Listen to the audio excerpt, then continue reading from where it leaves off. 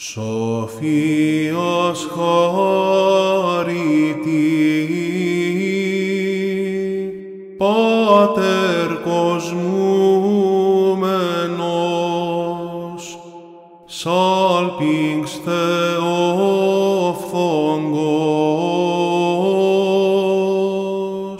όφθης του πνεύματος, και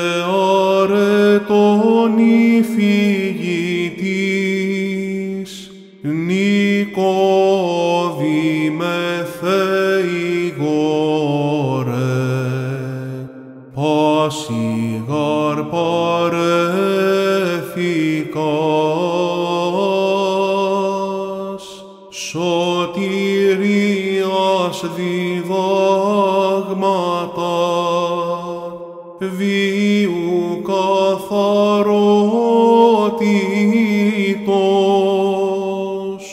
διεκφαίνον την έλαμψην, το πλούτο των εν Θεόν σου λόγων,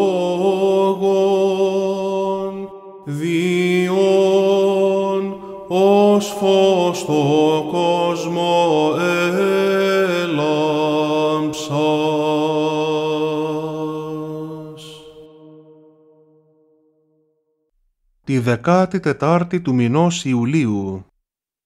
Νικοδήμου Οσίου του Αγιορείτου, Ακύλα Αποστόλου, Ιούστου Ακύλα Ιλαρίου, Πέτρου του Κριτός και Ηρακλείου των Μαρτύρων, Ονισίμου Οσίου, Ιωσήφ Αρχιεπισκόπου Θεσσαλονίκης, Εμμανουήλ Ανεζίνας Γεωργίου και Μαρίας των Νεομαρτύρων, των Εκκισάμου της Κρήτης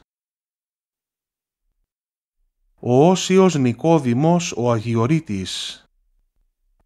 Μέγα διδάσκαλο και εθνεγέρτη του γένους με την πένα, θα μπορούσαμε να ονομάσουμε τον Όσιο Νικόδημο τον Αγιορείτη, για τον οποίο ο βιογράφος του γεμάτος θαυμασμό ερωτά «Τις Νικόδημος ούτος ουκ λέος μέγα, έβγε της ευφυΐας». Ο Όσιος Νικόδημος γεννήθηκε στην Άξο το έτος 1749 από τον Αντώνιο και την Αναστασία Καλιβούρτσι και κατά την βάπτισή του ονομάστηκε Νικόλαος. Μεγάλωσε με φόβο Θεού και από μικρός διακρινόταν για την ευφυΐα και την απέραντη μνήμη του. Για όλους ήταν ένα παιδί θαύμα.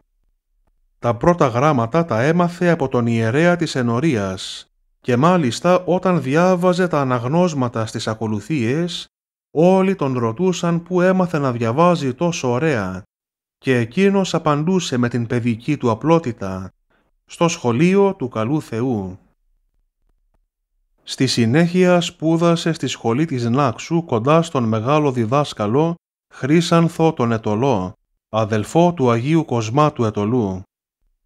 Με δίψα για μάθηση έρχεται έπειτα στην Ευαγγελική Σχολή της Μύρνης, όπου είχε διδάσκαλο τον περίφημο Ιερό Θεοβουλισμά, όπου εκτός από τις εγκύκλιες γνώσεις σπούδασε θεολογία, αρχαία ελληνικά, λατινικά, ιταλικά, γαλλικά και εβραϊκά.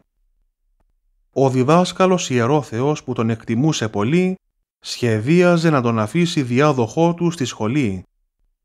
Το 1770 όμως, λόγω της αποτυχημένης επανάστασης των Ορλόφ, αναγκάζεται να εγκαταλείψει την Σμύρνη και έρχεται στην Νάξο, όπου προσελήφθη ως γραμματέας του Μητροπολίτου Ανθίμου.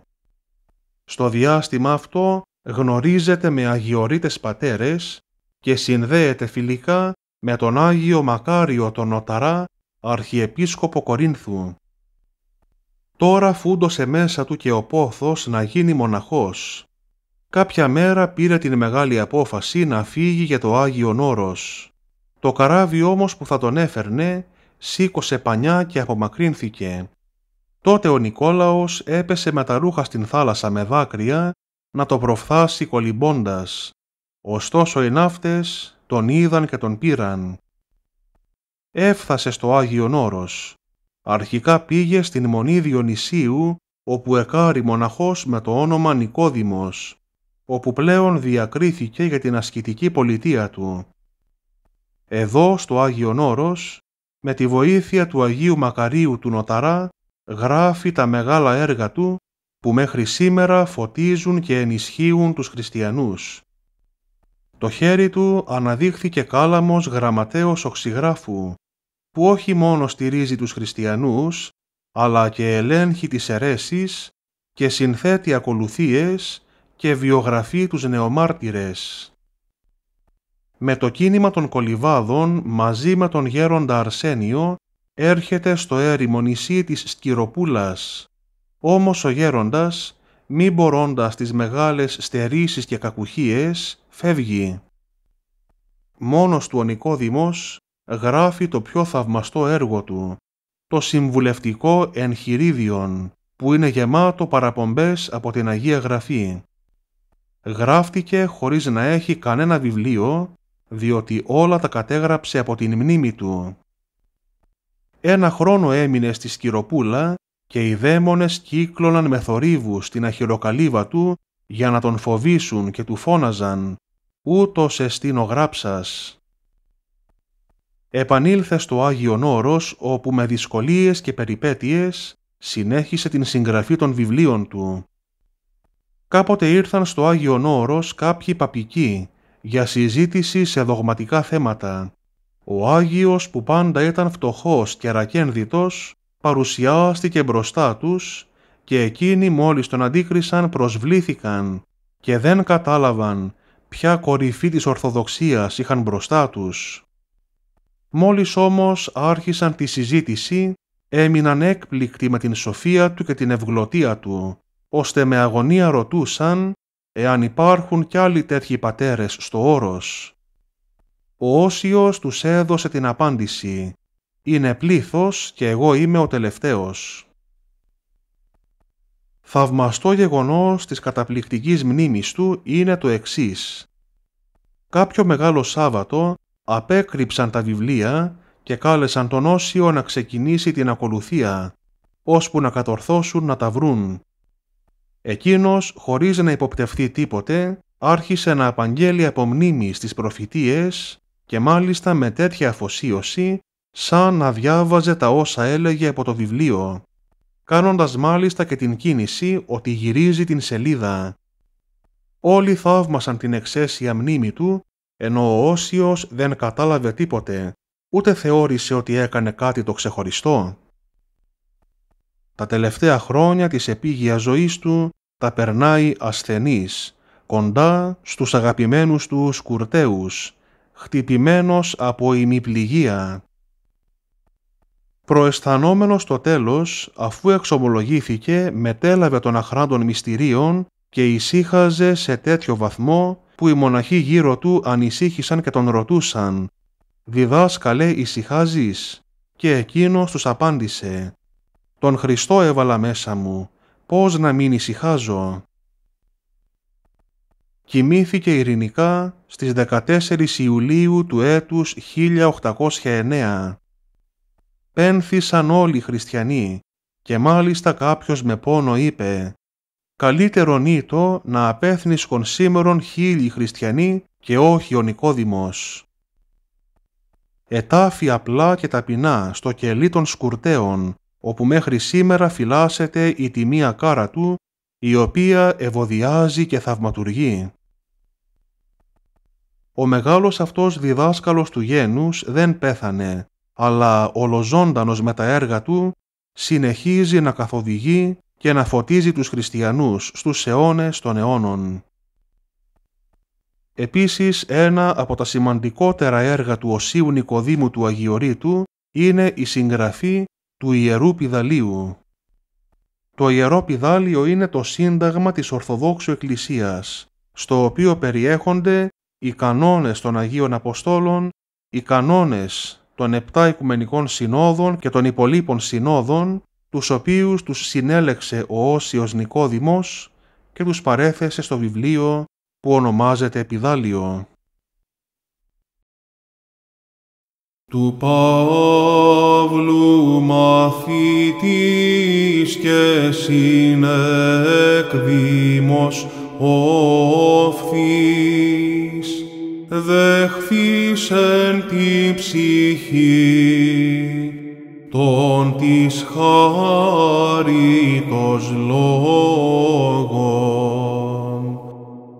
Ακύλα Απόστολε, τους σωτήρος διακονέ, όθεν ύβγασας, τους εν νύκτη της απάτης και ηγόνισε υπέρ της δόξης Κυρίου διό εφημούμεν